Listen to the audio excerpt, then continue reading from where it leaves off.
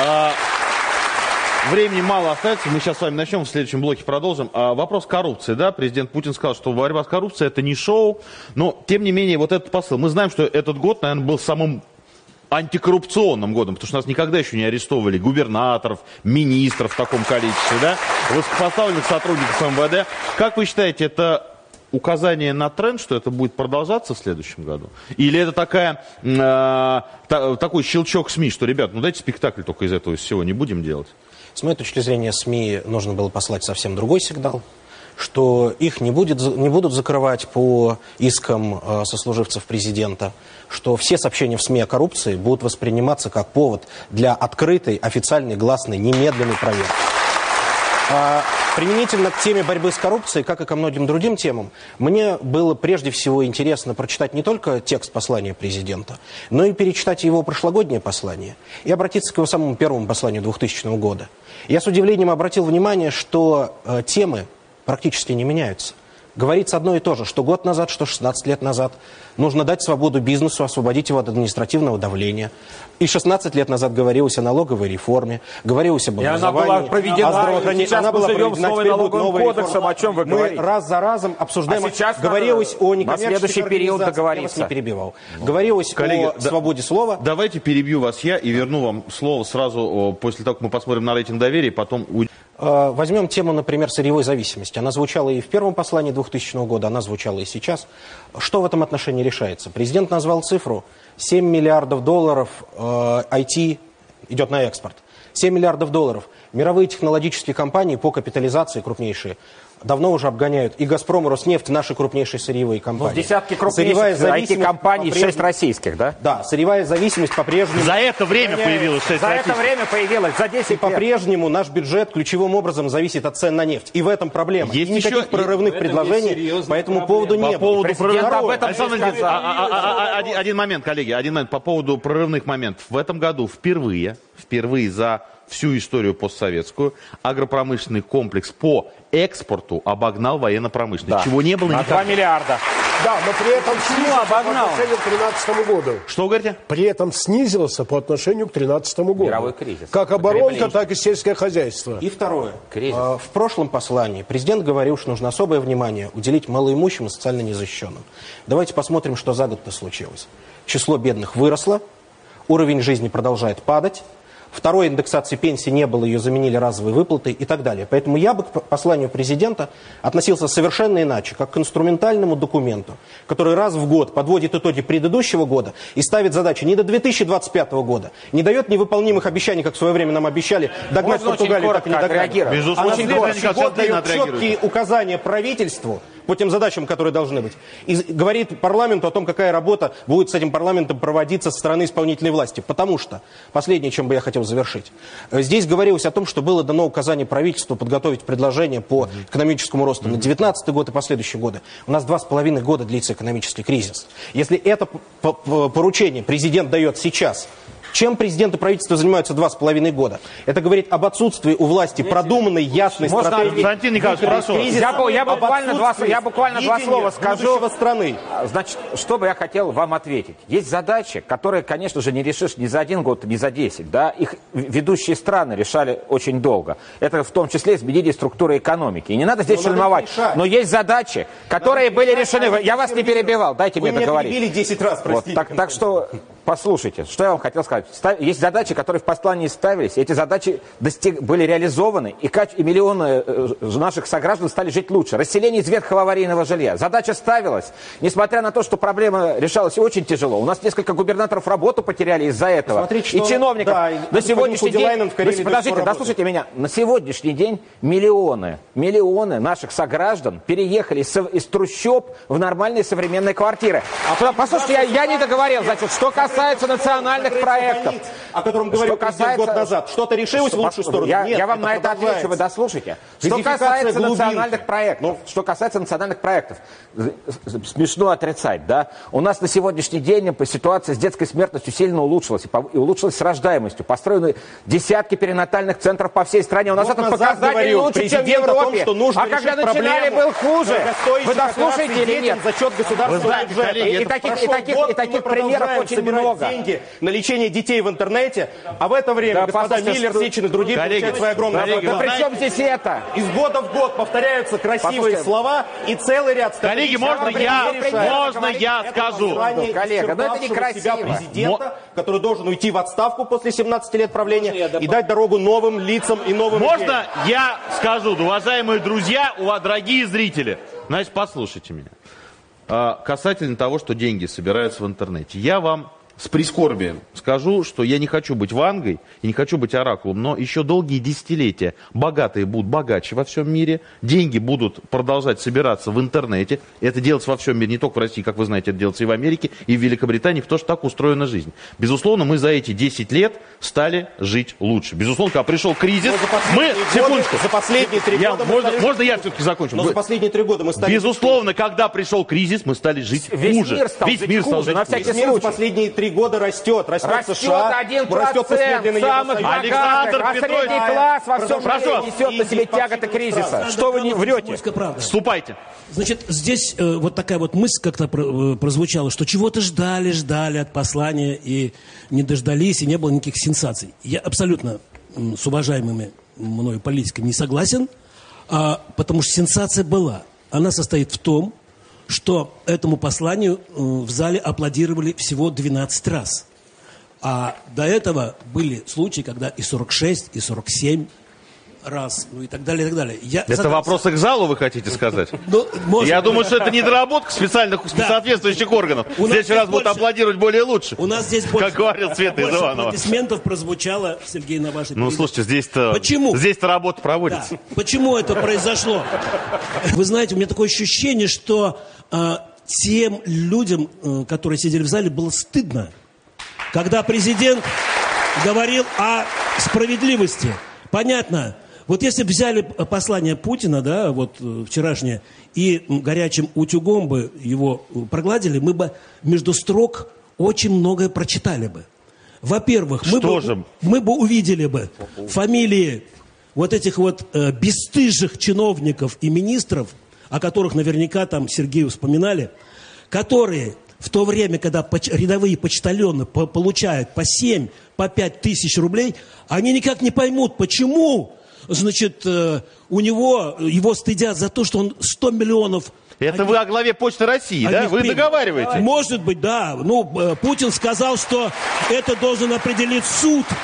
Вот. Мы бы, наверное... Откуда знаешь, что 5-7 тысяч Да. получает Почта России? Да. Раньше они вообще не получали месяцами Потом, заработную плату. я А человек провинциальный, Зарплата я выросла вырос в разы. Оренбургской. Я Борис Ильич, а вы просто за этого менеджера Борис Ильич, а вы, вы Да. считаете, подождите секундочку, А, одну секунду, это Потом, очень важный момент, а вот разъясните, вы считаете, одну секунду, вы считаете, что справедливая премия у него? Я считаю, что Да. человека наняли в качестве менеджера. Так, человек в абсолютно убыточной компании, в которой работает не одна сотня тысяч человек. Так. Мы вообще забыли, что такое почта, если вы помните. Что бы мы еще Сейчас, а можно я, Можно так, я мне вопрос задам? Подождите, Я я- у меня сейчас важный вопрос будет. Я считаю, что его наняли на определенных условиях. Ему сказали, ты получишь очень небольшую Так. часть прибыли, Да. если ты сделаешь компанию прибыльной. Стоп. А И вот он здесь, сделал- Борис он вот здесь сделал стоп. Он сделал компанию прибыльной, здесь стоп. Он Он, получил 8 компанию- миллиардов дотаций. Вот, вот. Пятью миллиардами он закрыл свои А вот убытки. сколько раньше было до- дотаций? Вы Он с говорили? дотаций получает прибыль. Он да, получает прибыль А от того минуса до того. до- Борис Юрьевич, ну вы же бизнесмен. Я бизнесмен, я считаю, что если... Заработал Можно я скажу, на что рынке. еще написано? Он не заработал эти деньги на рынке, Константин Николаевич. Я заработал. сотрудник должен 400 лет работать, чтобы получить такие деньги. Вы считаете это нормально? Я Еще считаю, что написано, Сергей? что у нас никогда бы не Я вам было расскажу, почты что еще России, написано у президента. если бы мы с ним не заключили контракт.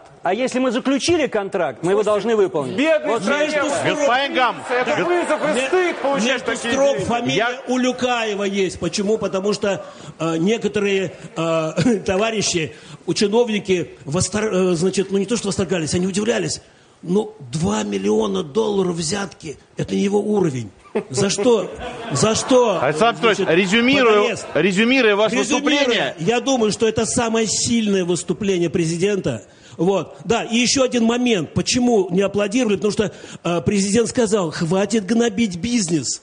Правоохранительные органы. Вот. И, значит, а, что, будут в зале этому аплодировать, что ли? Резюмируя, я скажу, что это было самое сильное выступление, самое неподготовленное, в, в смысле, вот, оно было очень близко к жизни, самое сильное выступление президента, которое нужно э, проглаживать утюгом и читать между строк. Я Спасибо. просто резюмирую, я сейчас, я вам сейчас дам слово, э, резюмируя ваше выступление, и вот э, тезисы господина Титова, я хотел все-таки вернуться к тезису Путина о справедливости. Вот эта история с Почтой России, она про справедливость, что, ребят, вы получаете доходы с денег государства, с них все выписываете бонусы и говорите, что вы, рынке, Это вы в рынке. так. Но это так, Это Борис не. Но так. это так. Почта России была дотационна на огромную сумму. Он сумел сократить дотации. Но это все равно дотация. Слушайте, он пришел на работу, вы считаете, вот ему справедливо заключить контракт, с ним государство заключило контракт. Справедливо? Он открыто, никого ничего не скрывали. Я считаю, что это сумасшедшие Поставили, бабки. поставили. Я считаю, что это очень большие деньги. Условия были зафиксированы. Но они были зафиксированы неправильно, на Он мой взгляд. показал, это значит государство виноват, а не он. Безусловно, А, речь Николай Владимирович, прошу вас. в случае о системе. Нужно исправлять именно систему, которая И- позволяет и знаете, заключать почему все- такие контракты, когда в государственных Господин компаниях Варвар, прошу. у нас знаете, э, расходы все за счет государства, а доходы частные. Александр Алексеевич, а вы Ни согласны, одного что мы сближаемся с Западом? Я думаю, что э, всегда существуют предпосылки для сближения с Западом. У нас есть объективный интерес, например, борьбы с терроризмом. Вопрос заключается в искренности и в прочности Ну, такого политики движения. искренности, прочности, это такие Можно вопросы. коротко? Да, Предсказуемость – это ключевой вопрос Мне и для внешней политики, и для э, пускай внутренней. пунктирно, но крайне важно. То, что обозначил президент, это прежде всего с экономической точки зрения неприятие закрытых сделок, когда есть соглашение по трансатлантическому и транстихоокеанскому партнерству, когда, вопреки мнению суверенных правительств, некоторые транснациональные корпорации пытаются э, рулить мировыми процессами, это было обозначено четко. И плюс ко всему было ясно сказано, что и сам Запад начинает меняться. Прошу вас. Ростислав Антонов, э, журналист, правозащитник. Город Новосибирск. Э, У меня вопрос к Сергею, Кузн- э, к Сергею Шаргунову, как человеку, кто неоднократно бывал на Донбассе, я тоже, в общем, объехал весь Донбасс. И, конечно, я, наверное, продолжу слова уважаемого редактора московского комсомольца, что СНГ это наша, скажем так, боль, наша, э, та- те страны, которые это... Ну, вот, в частности, наша боль это Донбасс. И вот в послании президента эта тема не прозвучала. Означает ли это, что э, Донбасс выпал из фокуса внешней политики России? И, означ- и означает ли это изменение Вопрос понятен. Александрович. Да, Э, дорогой коллега-правозащитник, называю вас своим коллегой, потому что дело каждого патриота нашего Отечества заниматься правозащитой. Нет, не означает.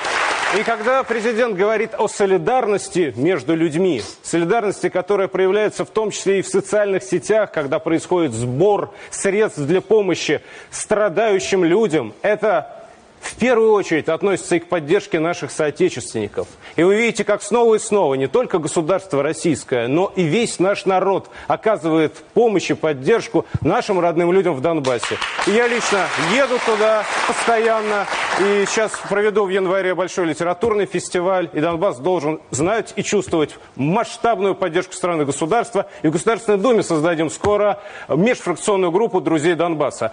А дайте, пожалуйста, вот назад не возвращайтесь. Спасибо.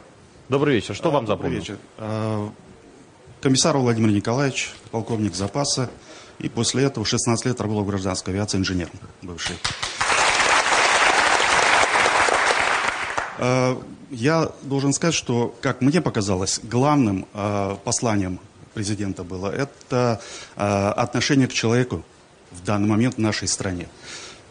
И э, это вдохновляет на то, что мы все-таки э, будем идти неуклонно вверх.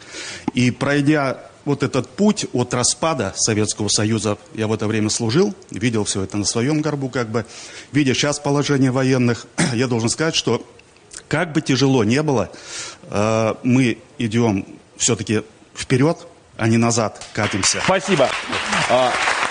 А, У меня вопрос к гостям. Константин Николаевич, вот начали с этого в первом блоке. Вы с вашим опытом прошлой работы в администрации президента. Что происходит сейчас? Вот, значит, э, было обращение к федеральному собранию. По итогам этого что происходит? Ну, как я и говорил, по итогам будет подготовлен список поручений.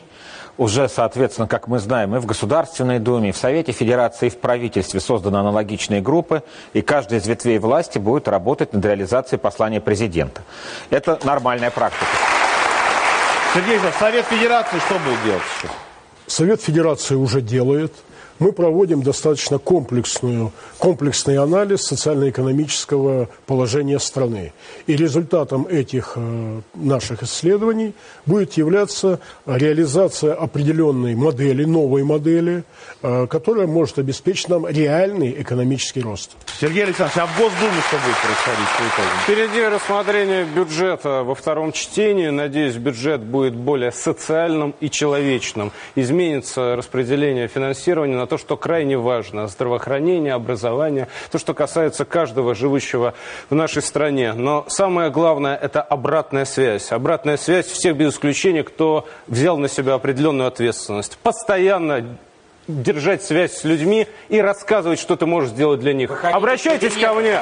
Обращайтесь ко мне как к поле. депутату и сказал, Государственной в Думы. И я лично отправляю запросы в вашу поддержку и рассказываю, как мне ответили в любой степени заоблачности кабинете. Господин Гнездилов, партия «Яблоко» будет э, по любой инициативе президента выступать против? Или вы все-таки как-то как, какой-то конструктивной для вас инициативу будете поддерживать? Поскольку в послании, к сожалению, не прозвучало никаких внятных рецептов по росту доходов граждан, правительство официально заявляет, что к 2019 году средняя пенсия в России окажется ниже даже того прожиточного минимума, который у нас установлен.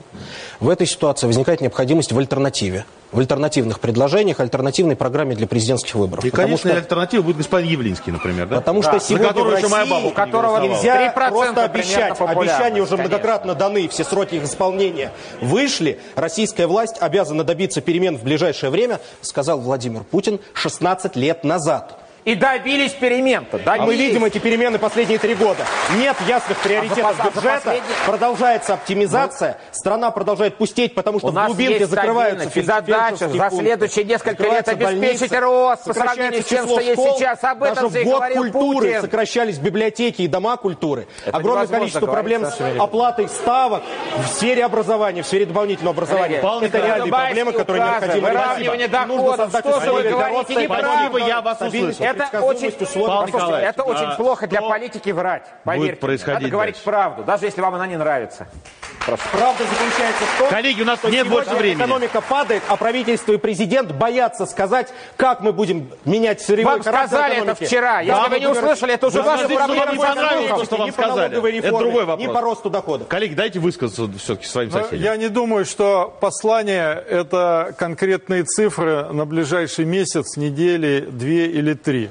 Главное – это постановка задач и того направления, куда должна двигаться та или иная, ну, так скажем, отрасль, или экономика, или э, это культура, или это э, связанное э, с общественной жизнью, с гражданским обществом, волонтерское движение. То есть вот эти цифры. Я считаю, что сейчас задача для средств массовой информации, например, я вижу ее, это подробнейший анализ, комментарии, причем с самыми разными специалистами, которые должны проанализировать, что и как будет и что как делается. Потому что контроль в течение года это будет осуществлять и депутаты, и все остальные уровни. Но средства массовой информации здесь должны быть на передовой. Мы должны постоянно, постоянно напоминать и чиновникам, и власти, что, ребята, вы поставили эти задачи перед вами президент поставил. А теперь давайте смотреть, Значит, что вы давайте, делаете. давайте отчитываться о них.